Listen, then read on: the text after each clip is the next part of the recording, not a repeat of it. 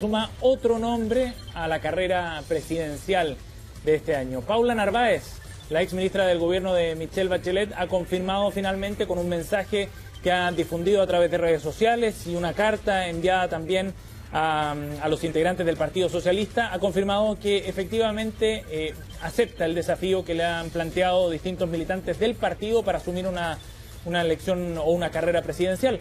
Eh, tenemos precisamente las declaraciones de Paula Narváez, quien desde la región de los lagos enviaba el siguiente mensaje. Hola a todas, todos y todes. Hoy, desde mi querida región de los lagos, desde Puerto Montt, quiero agradecer a todas aquellas y aquellos que con su fuerza y convicción y que de manera transversal se fueron sumando a esta iniciativa, al llamado de que asuma un deber con Chile y postule a una precandidatura presidencial en primarias abiertas y ciudadanas. Para mí, en el camino que me ha tocado recorrer, siempre ha sido motivo de inspiración y trabajo la lucha por los derechos de todas las personas Quiero agradecer en particular a las mujeres y compañeras socialistas e independientes que hicieron nacer esta iniciativa con su energía, activa organización y coraje. Con humildad quiero decirles que me siento muy honrada del llamado que me han hecho. Valoro los mensajes que he recibido, cargados de esperanza de un país mejor.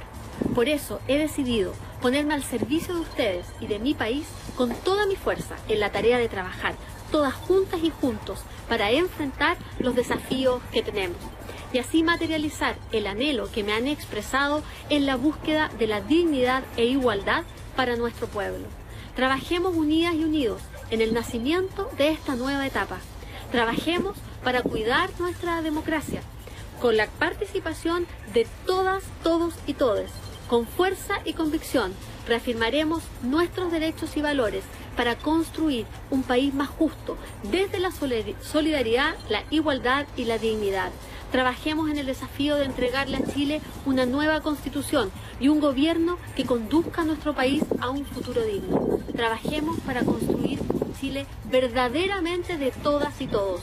Cuenten conmigo siempre. Cuídense y cuiden a sus seres queridos. Muchas gracias por la paciencia que han tenido de esperar esta comunicación con ustedes.